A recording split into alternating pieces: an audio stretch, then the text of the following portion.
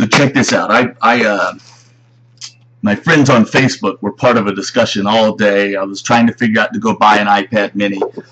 So I did. I went to Walmart, purchased an iPad mini from them, get home, work on the computer a little bit, um, open it up, two blank books inside. Blank books. Straight up blank books. I didn't know. It was shrink wrapped. It had wrapping on it. I mean, now that I look at it, I can kind of see some holes where it might not have been professionally done. I don't know.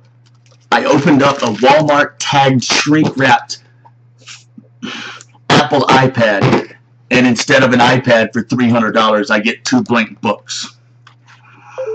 So all that I can imagine is someone purchased this, took the iPad out, had it shrink wrapped, and returned it, and Walmart accepted it and gave them money back and put it right back on the shelf and sold it to me. Walmart did nothing.